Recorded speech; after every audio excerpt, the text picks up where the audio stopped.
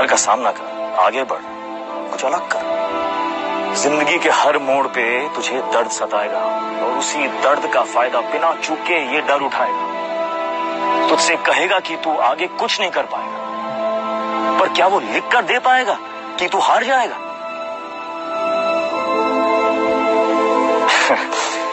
तेरी हर कमज़ोरी पर ये डर घर बनाएगा, पर तू अपना हुनर दिखाएगा।